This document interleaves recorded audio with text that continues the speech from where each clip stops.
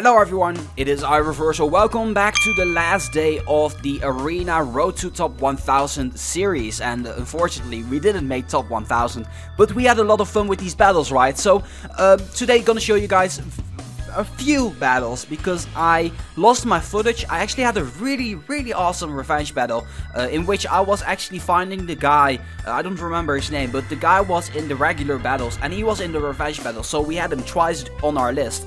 And I was like, uh, oh, by the way, this guy's using an old lineup. But I was like, hey, let's first scout him on the normal battles and then do a revenge battle winning that. So I actually won on that normal battle and I switched my lineup accordingly to what should be his weakness. And we lost that battle. And it was like very bad from my side, but I should have just like kept that battle. But unfortunately, yeah, I do not have the ability to show you guys, but it was a really nice battle, just take it from me. But next week should be really amazing arena battles as well. Uh, I've been really enjoying this, guys, like really, I have a lot of good feedback from you guys, so that kind of motivates me to do more arena stuff as well.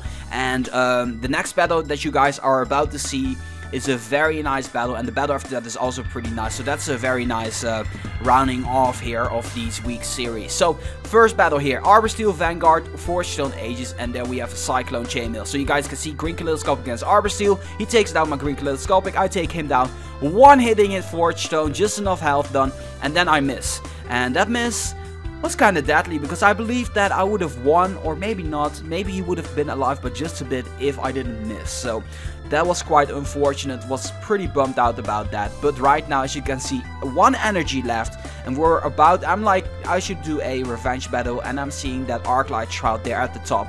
So I'm like, how should I adjust my lineup here? So I'm thinking, my thought process was like, I should use my Neon War Gear because it's strong against that. Maybe has some more, more fire armors and I'm thinking like, what is the more recent one? So I'm thinking that he has a Hellfire Plate Mail for sure, or just the, uh, or Runic Robes maybe, or even Soul Vanguard. So I'm like, two water types here and I'm switching it like this and uh, it seems I was right about the Hellfire Plate Mail but I was right wrong about that Neon Wargear at the back. I should have switched that around with the Red Scale Armor, you just seen one second why. Right now it's Snowstorm against uh, my Red Scale and as you guys can see I'm weak uh, I'm actually weak against his earth so that was really unfortunate there I was not happy with that at all but yeah that kind of concludes this arena week.